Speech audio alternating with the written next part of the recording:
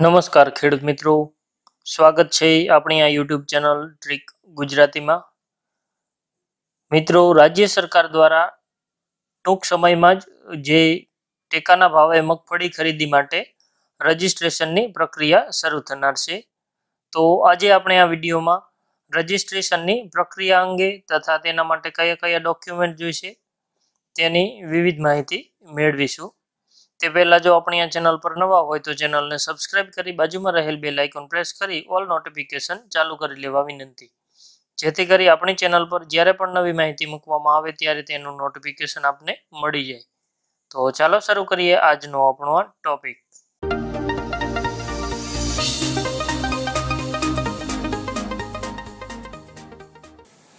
તો મિત્રો રાજ્ય સરકાર દ્વારા ટેકાના ભાવે મગફળી ખરીદી માટે પહેલી ઓક્ટોબરથી રજિસ્ટ્રેશન શરૂ થનાર છે. તો તે રજિસ્ટ્રેશન ક્યાં થશે? રજિસ્ટ્રેશન માટે કયા કયા ડોક્યુમેન્ટ જોઈશે? તે અંગેની સંપૂર્ણ માહિતી આપણે આ વિડીયોમાં મેળવીશું. તો આ વિડીયોમાં છેલ્લે સુધી જોડાયેલા રહેજો, જેથી કરીને રજિસ્ટ્રેશન અંગેની સંપૂર્ણ માહિતી આપને મળી જાય. તો ચાલો આપણે આગળ જોઈએ. ખેડૂત મિત્રો, ખાસ ધ્યાન આપો. લઘુત્તમ ટેકાના ભાવે મગફળી ખરીદવા માટેની માહિતી.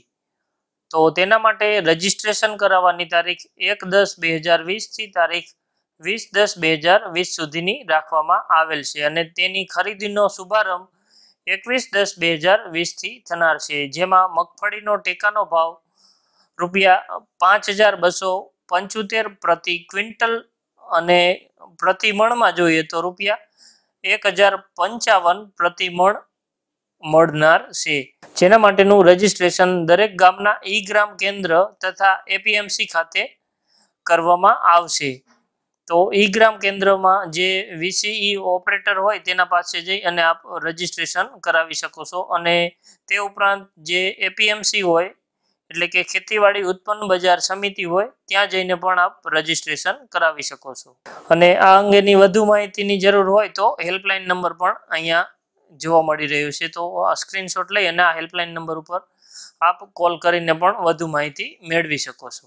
તો હવે જ્યારે નોંધણી માટે આપ જાઓ છો, ત્યારે ઈ ગ્રામ કેન્દ્ર પર નોંધણી સમયે કયા કયા આધાર પુરાવો લઈ જવાના થશે તેની માહિતી જોઈએ તો પ્રમાણિત કરેલ આધાર કાર્ડની નકલ, એટલે કે આધાર કાર્ડની નકલ લઈ જવાની છે અને જો શક્ય હોય તો સાથે અસલ આધાર કાર્ડ પણ લઈ જવું. તે ઉપરાંત આગળ જોઈએ તો બેંકનો કેન્સલ કરેલ ચેક અથવા તો બેંક પાસબુકના પ્રથમ પાનાની નકલ. ત્યારબાદ આગળ ગામ નમૂના નંબર સાત તથા બારનો ઉતારો. ગામ નમૂના નંબર આઠ અનો ઉતારો. અને જો ગામ નમૂના નંબર બારમાં ચાલુ વર્ષનું વાવેતરની નોંધણી થયેલ ન હોય, તો આપને તલાટીના વાવેતરના દાખલાની પણ જરૂર પડશે.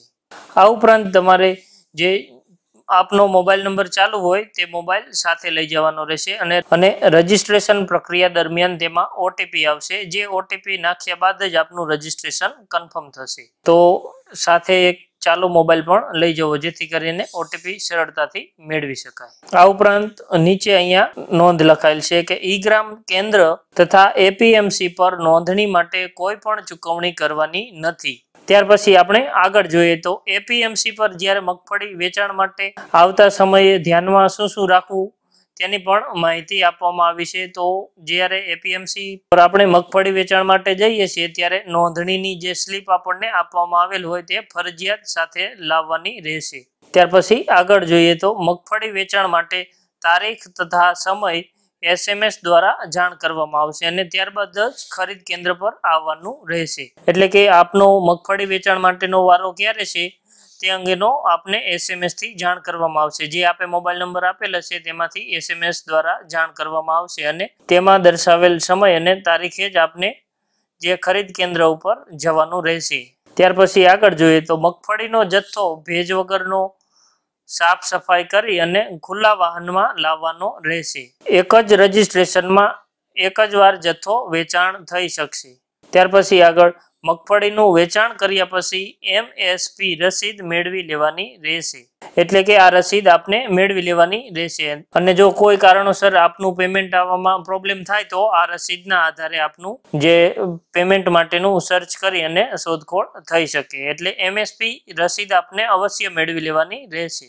અને ત્યાર પછી છે કે ખેડૂત દીઠ વધુમાં વધુ બે કિલો એટલે કે પચીસો કિલોગ્રામની મર્યાદામાં જથ્થો લેવામાં આવશે.